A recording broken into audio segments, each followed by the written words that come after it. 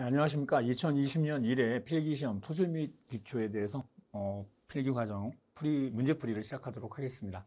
아, 문제 보시면 어, 포화 단위 중량이 19.62kN, 사질도 된 무한사면에 20도의 경사져 있다. 어, 이런 모든 말들이 다 힌트예요. 어, 사질토다라고 하는 곳에 지금 우리가 표시를 좀 이렇게 해놓으시고 무한사면이다. 그리고 20도다. 아, 20도다. 경사져 있다. 경사가 있으니까 당연히 무한 사면이 되는 거라 그랬어요. 경사가 없다면 사면이라는 표현을 쓰지 않은 거니까 어, 지하수와 지표면과 일치하는 경우 이 사면의 안전율이 1 이상이 되기 위해서는 흙의 내우마 찰각이 최소 몇 도 이상이어야 하는가? 단 물의 단위 중량은 9.81kN이다. 그러면 제가 그 사면에 대한 것을 우리가 공식을 뭐 한다면 전체 원식을 제가 여러분한테 표현한 게 있었어요. 이거를 무조건 다 적어 놓으세요라고 알고 계셔야 됩니다라고 했었던 공식이 어떤 형태가 되냐면 감마 h에 감마 h 코사인 뭐 베타도 되고 i도 되고 사인 베타 또는 i도 되고 베타도 되고 형태가 된 것에 c c라고 형태가 있습니다라고 했고요. 그다음에 이제 나눠서 계산해도 되고 그냥 쭉 써놓는 형태가 뭐냐면 감마 saturation의 감마 sub 감마 saturation 분의 감마 sub이 있고 그 다음에 탄젠트 탄젠트 이제 베타라고 표현했으니까 베타 또는 i라고 표현해도 되고요. 어, 이때 주어지는 세타 경사각에 대한 것은 파이에 대한 값을 해주세요라고 했어요. 어, 요게 형태인데 그 원식이죠. 그럼 여기서부터 하나씩 조절해 나가면 되는 거라고 표현했어. 근데 지금 어떻게? 아이고, 아이고 좋아. 어, 사질토. 사질토니까 점착성이 점성이 있어 없어? 없어. 어, 없어 없어. 얘 0. 오케이 0. 아, 요 항은 안 씁니다. 이런 뜻이죠. 안 씁니다. 아, 그러면 이제 결론이 내려졌어. 어, 여기다가 그럼 하나씩 다 집어넣으면 되겠네. 근데 감마 세츄레이션, 감마 섭이 있는데 포화반이 중요한 감마 세츄레이션은 줬어. 근데 감마 섭은 안 줬어. 이렇게 한다 그랬잖아. 무조건 안 준다 그러니까. 안 줘. 어, 그러면 감마 섭은 여러분들이 구하세요. 이런 소리 아니야. 그럼 감마 섭은 어떻게 돼? 감마 세츄레이션에서 감마 W를 빼주면 아, 이건 뭐 너무 기본적인 내용이잖아요. 그러니까 패턴에서 벗어나질 않아. 어, 패턴에서 벗어나질 않는다니까. 안 줘. 안 주면 우리가 당황하지 말고 아 다른 공식을 있다라고 하는 거. 그러니까 알고 있잖아. 안 줄 거라는 걸 알고 있어야 된다는 거죠. 안 준다 이거야. 어, 그러니까 얘가 19.6. 어, 얘는 뭐 9.8 하나니까 뭐 9.8 이렇게 생각하셔도 돼요. 어차피 뭐 9.8. 어차피 뉴턴에 대한 형태니까. 어, 그러면 9.8이다. 오케이, 그럼 알았어. 그럼 감마 사츄레이션이 19.6이고, 감마 섭이 얘가 9.8이고, 어.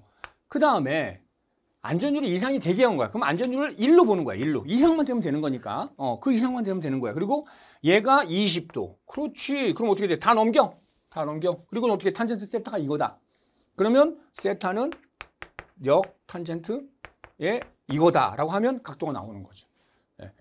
너무나 패턴이 돼 있는 그런 문제다. 여러분들 여러분들이 이해하시면 되겠죠. 그래서 여러분들이 아 36.06도다라고 하는 것을 찾아주셔라.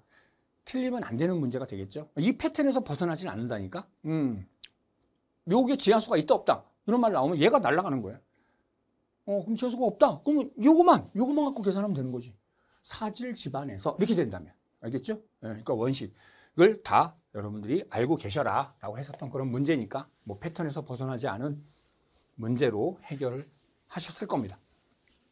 그리고 감마 섭은 안 준다니까. 안 줘. 안 줘. 안 줘도 괜찮아. 어, 감마 세츄에서 감마 W 빼주면 되니까. 어, 그 부분에 대해서는 여러분들이 당연한 거다 이렇게 생각하시라는 거죠.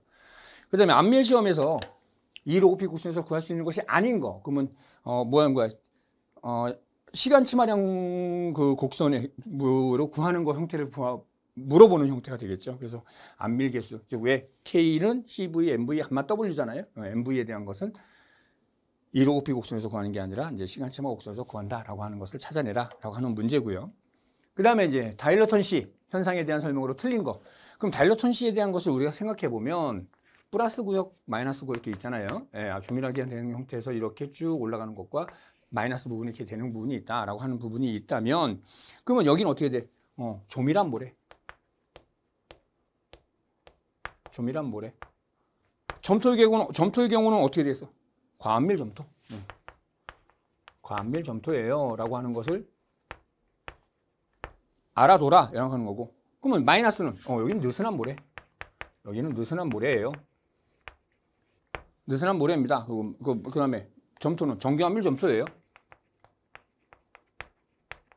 안밀 점토예요. 그냥 이렇게 형태로 알아보면 돼. 그럼 이 형태에서 어떻게 돼? 우리가 형태를 보니까 어 그럼 3번 정교함밀 점토의 경우 정의 다일런트 시가 일어난다. 정교함밀 점토는 어 그렇죠. 마이너스에 대한 형태로 나타나죠. 네, 그러니까 아 3번이 틀렸어 라고 하는 것을 그래프 형태로 알아두시면 제일 좋은 그런 형태가 되겠죠. 다짐도 마찬가지고 dilatancy 나와도 마찬가지로 이렇게 그래프 하나만 딱 그려놓고 옆에서 생각해 보면 찾아내기가 상당히 쉬운 형태 될 거예요. 다짐 났다. 그럼 무조건 그냥 그래프야. dilatancy가 나왔다. 그럼 얘도 마찬가지로 그래프. 다짐 문제 요거도 나왔는데 그래프만 그리면 답이 나와. 그런 거라니까요. 어떤 모래층의 간극비 E는 0.2, 비중이 2.6이었다. 분사 현상이 일어나는 한계 동수경사. 상당히 쉬운 거죠. 분사 현상에 대한 안전율은 FS는 I분의 IC고 I는 I는 어떻게 돼? L분의 H 형태로 구해서 FS 구하는 그런 문제 패턴이었어. 근데 어 당황스러워. 왜? 이렇게 해서 구하는 게 아니라 얘만 띡 물어본 거야. 어. 얘만 띡 물어보면 어떻게 돼? 1 플러스 2분의 GS 마이너스 1 감마 W는 없어지는 거죠. 그렇죠? 얘가 IC잖아. IC. IC 요 하나만 딱 물어본 거예요. 이건 뭐 당황하는 그런 문제죠. 이런 것도 틀려서는 안 된다니까. 이런 거 틀리면 그렇지. 용복이가 울어. 내가 울어. 내가 울어. 운다니까. 어, 그러니까 이런 거는 절대 틀려서는 안 되는 거예요. 2가 GS는 다 줘, 다 줘. 이걸 어떻게 틀려? 이거 틀리면, 그렇죠. 나 울리려면 틀려. 나 울리려면 틀려요. 알았죠? 틀려서는 절대 안 된단 말이야. 이런 거 틀리면 방법이 없어. 방법이 없어. 빼도 박도 못해. 진짜 울고 싶은 거지. 진짜 울고 싶어.